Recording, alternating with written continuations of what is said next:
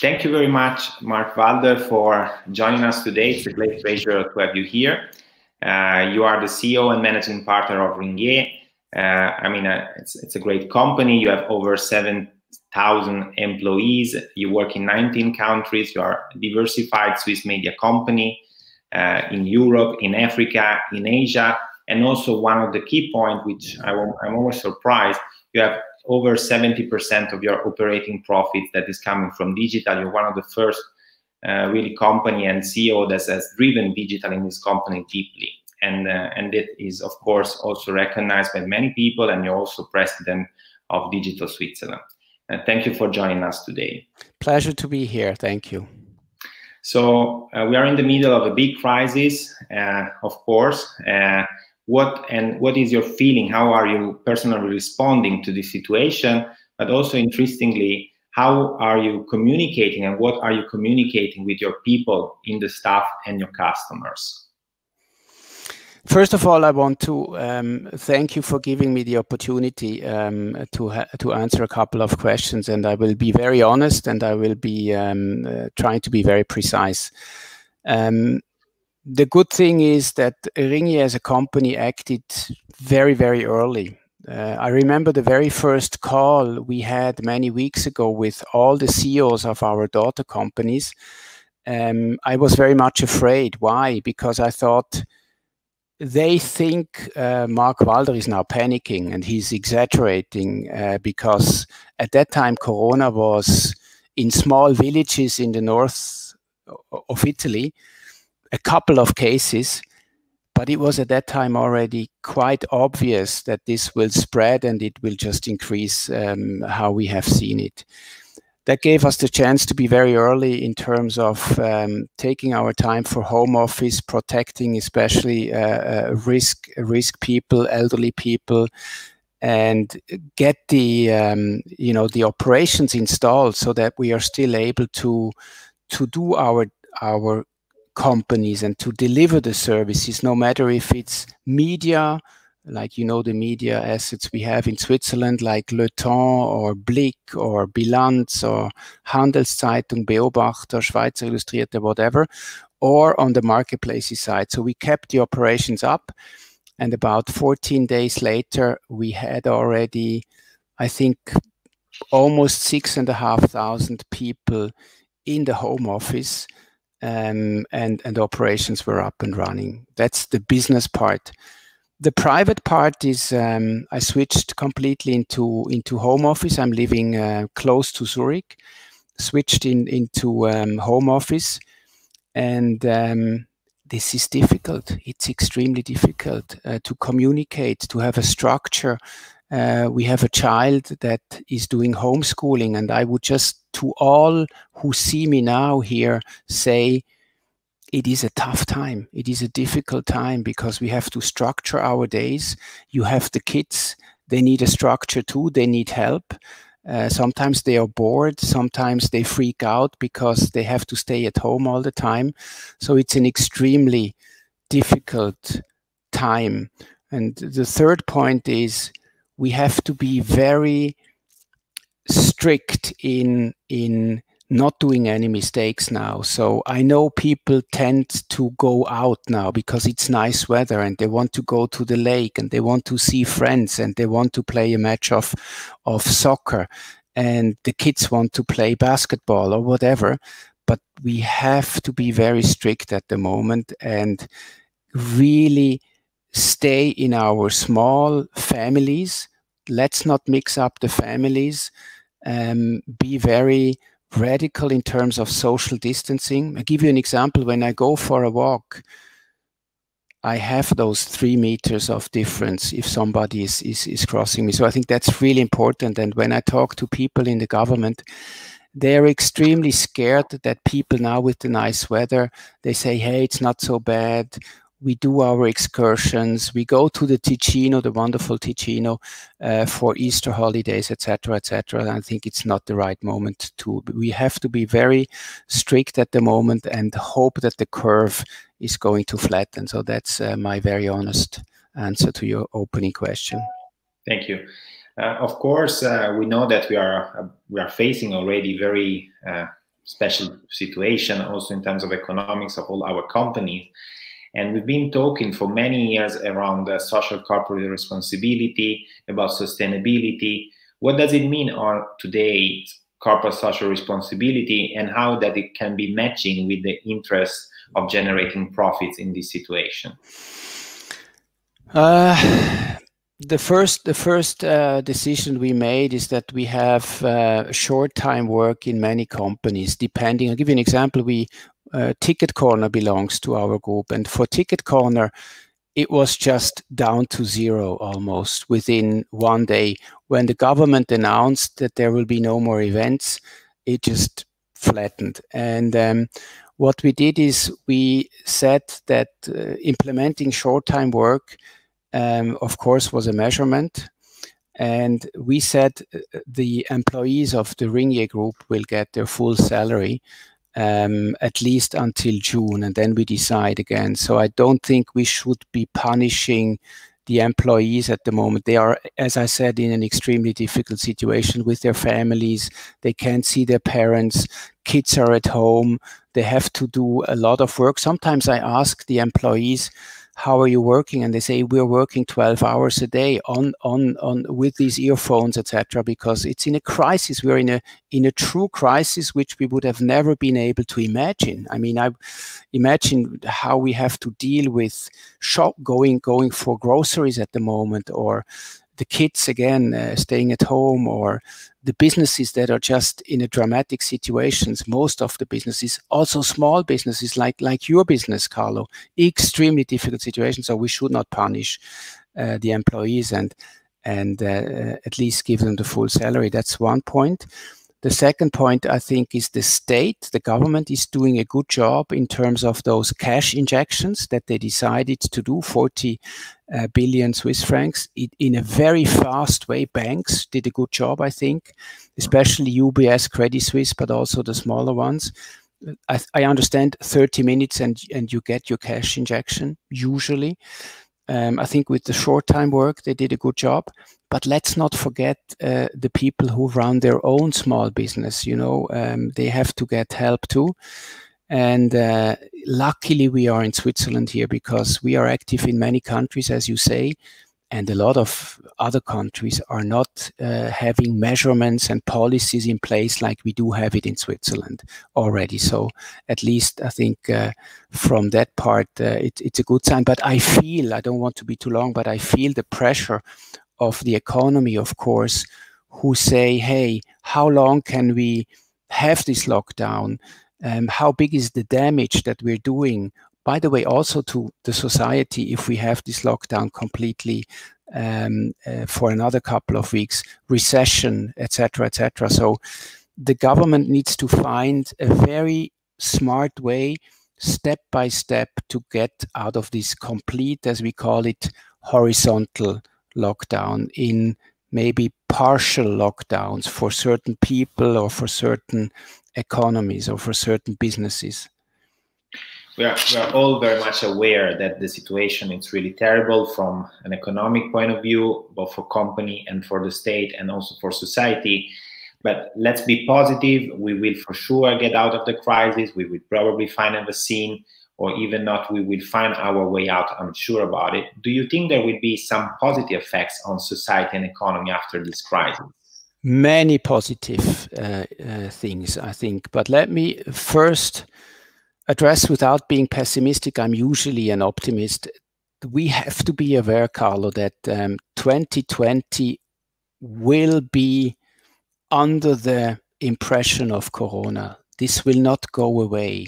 It will not stay a complete lockdown as we see it now. It will. The situation will improve also for the Ticino, but it will be under the impression of Corona it will not be a normal life in 2020. And if we are aware of this, and if we um, face this, then I think it's easier to adjust. Now, a couple of positive thoughts. Um, digitization is the clear, I would say, winner, if I may say so, in this crisis.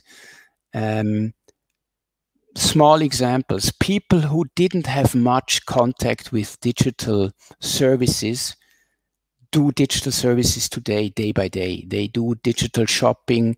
Uh, they communicate like we do now. Uh, they find their ways through digital uh, services to, to keep up their normal life, as an example.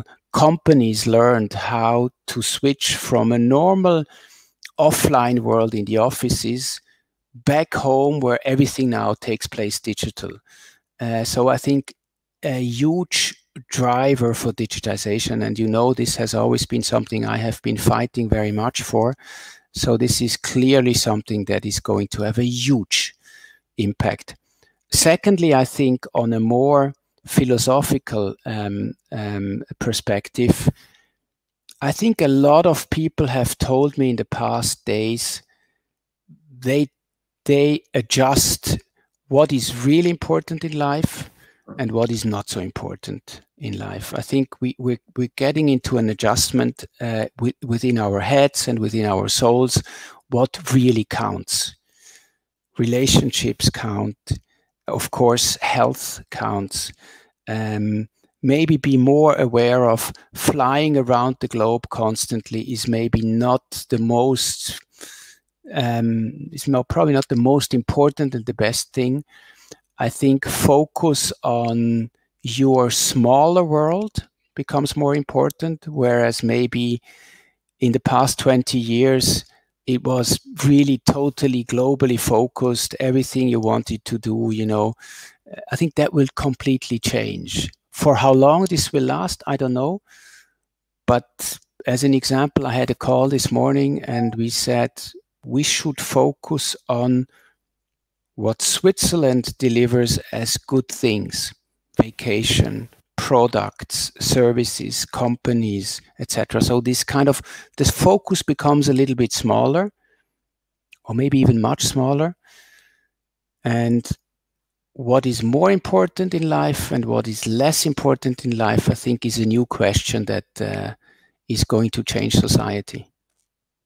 I, I agree, totally agree. Uh, we know that during every crisis, uh, media play a significant role. And I guess right now, your medias and the full group is reacting uh, to the crisis very importantly. Uh, but what is the situation right now? Because I've been talking with people and say, oh, media, it's a great period for them because there are a lot of readers. But then on the other side, I've heard people say, yeah, but one second, because the advertising market is going really down. But can you share any data and impression uh, with us?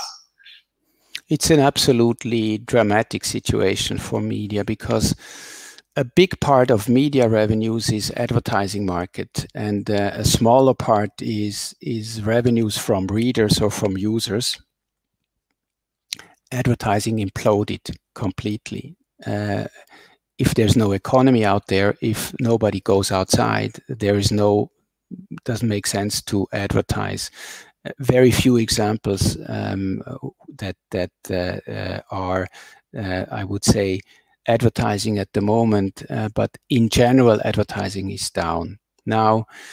Our role is um, economically, it's it's a, it's a complete drama for for media uh, a lot of media companies have to fight that they survive, that they get through this uh, liquidity problem they have because the operations are up and running. The operations, I think, what I tell all my, we have about 150 media assets, and what I constantly tell them, and I think where they're doing a good job, is independent, reliable, relevant media have never been more important than today. So they have to be aware of the big importance they have at the moment. They really have to report in a way that adjusts, I would say, facts without being too negative. It it's not good if they scandalize everything. So they have to be uh, in a, I would say, very responsible way reporting around corona what's going on i give you one example one of our media brands um, reported very big that there was a case in belgium i think where a young woman died of corona Now the question is, how are you transporting this message? Because it, statistically, this is an exception. If you if you bring this story without context, you will scare people too much because they say, oh, you know, it's going to be very critical also for young people. Yes, Corona can be dangerous for younger people, but it's still the exception. So that gives you an example what we are working on very much. Uh, secondly, we have to give the people also facts where they understand, as you said, there is a way to go through this crisis. It might take longer than we have thought, but there is a way we can go through our crisis. A third aspect is we did a big, big initiative two weeks ago where we said to the people in Switzerland, please stay at home. Because at that time, remember two weeks ago, people here, especially around uh, Zurich, Bern, etc., thought, well, this is a Ticino problem, and you know we can still have fun here.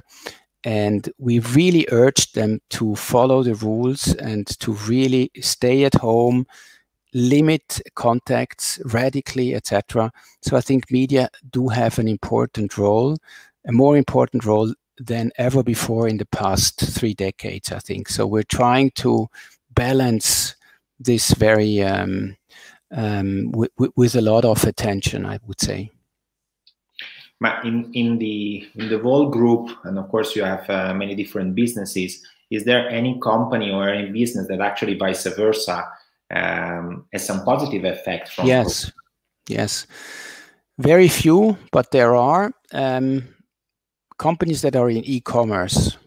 I give you two examples. Uh, Deal, uh, who is a strong e-commerce player in Switzerland, um, is doing well and Geschenkidee, Idee Kado, uh, is doing well. Um, my family, for example, ordered a, a, lot of games to play at home with the family and the kids uh, with Geschenkidee, etc. So e-commerce is of course strong, but almost all the rest is just uh, being extremely punished by uh, by the lockdown. Yeah. Of course, uh, you also hold a very important uh, position as the president of Digital Switzerland, which you have actually contributed uh, or even ideated as a project. And I guess you have very often contact with other CEOs uh, among the association. What are they expecting from the Swiss government? I mean, you already mentioned that there was a very good reaction. Uh, many international players were even astonished at what the Swiss government did in a positive sense. Uh, but what's next? The next phase is probably even more difficult than the phase we have behind us or we are in. We are in this lockdown, in this horizontal lockdown. Horizontal lockdown means the lockdown counts for everybody. We might have been late, like many countries. We could have done the lockdown earlier, probably. But it was the easier decision because it's just lockdown full stop. Now, the more complex situation is how to, uh, as I said before, step by step open the lockdown, you know, and where are you going to open it up and how much are you going to open it up? One example, schools. Are kids going back to school in May? If yes, the whole class, only half of the class, and they switch week by week or day by day, which shops can be open? Um, so there, I think digitization, to your point, Carlo, can play an extremely relevant role. Why? Um, let's say everybody in Switzerland, and of course everybody in Italy, and everybody in Germany, and everybody in France would have on their smartphone an app installed.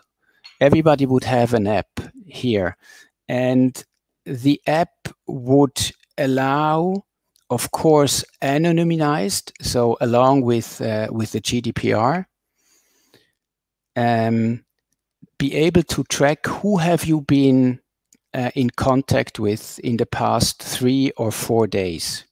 So tracking and tracing, and you would become positive, and within a minute, you can send an alert to everybody who has been in contact with you to go uh, into isolation their digitization can play an extremely important role in this reopening phase to keep the curve down because we have to there is no way around keeping the curve down.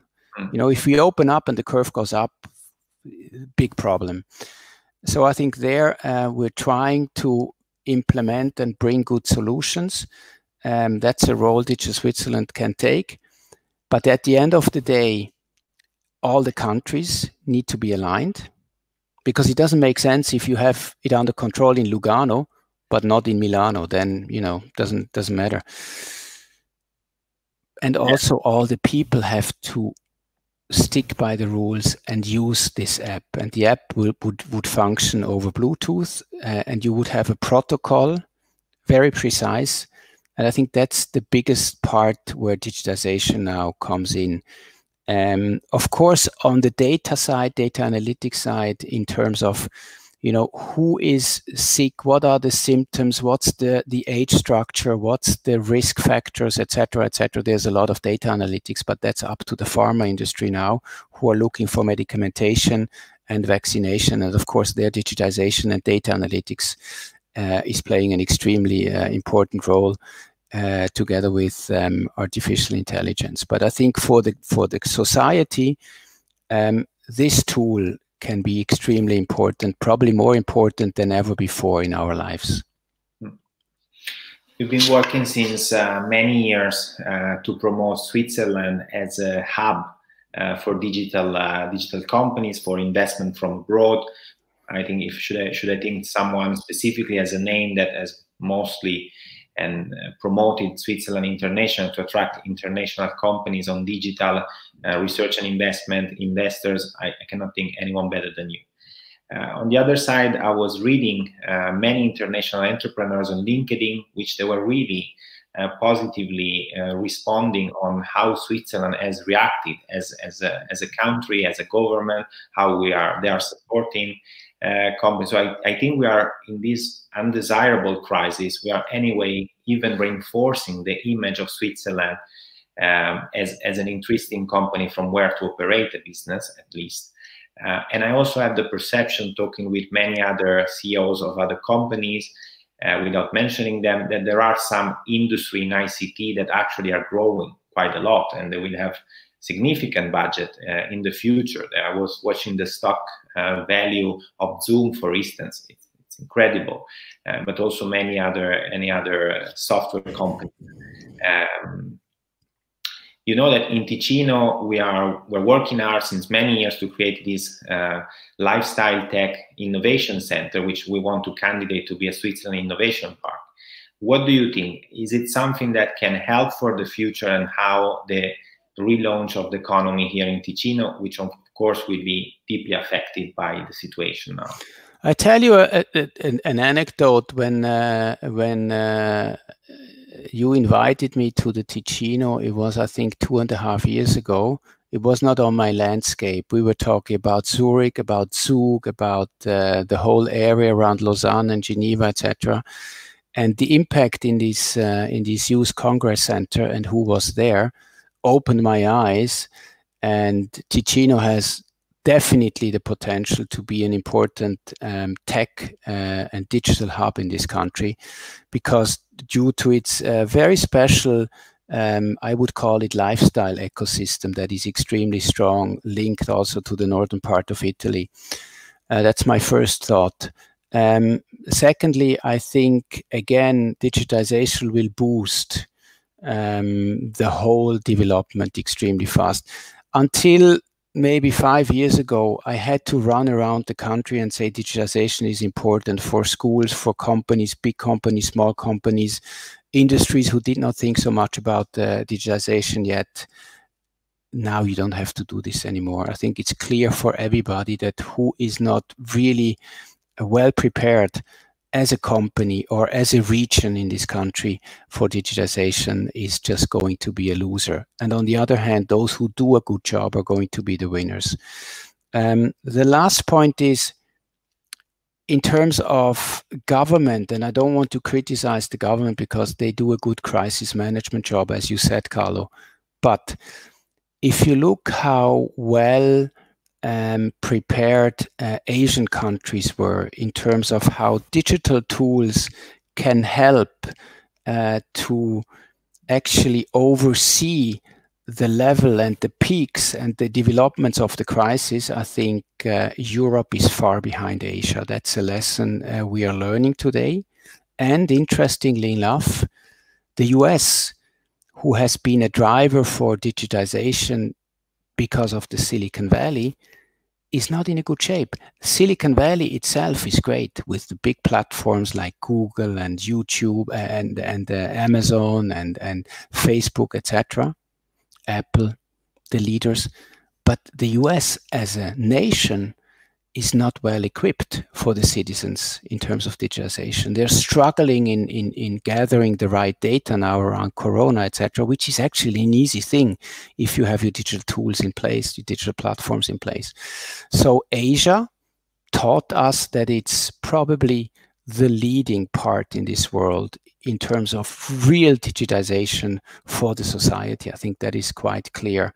And we, I think, understood that. And Europe has to be very much aware of this. And I think all the politicians, all the policymakers have understood that in the next couple of years, for the good of, not the good of the profits of the company, but for the good of the society, uh, we need to uh, become better in, in digital services for our um, for our society, for our um, um, people living in our country. It's still extremely difficult to have digital services from your government, uh, from your community.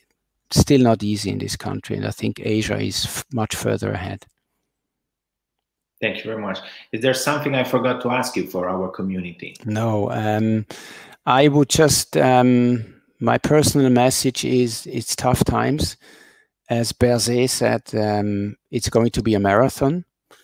And it's easier to go into this challenge if you know this is going to be a marathon and not a sprint. But uh, if we do well, and I think with the Swiss qualities we have, uh, we will do well. Um, we will go into past this marathon and um, yeah, it takes a bit of time. It takes, I think, uh, a lot of structure and discipline, but we're in uh, in a good position to to go through this crisis. Thank you very much, Marc, for your time. Thank you, Carlo. Thanks to all of you. Take good care and stay safe.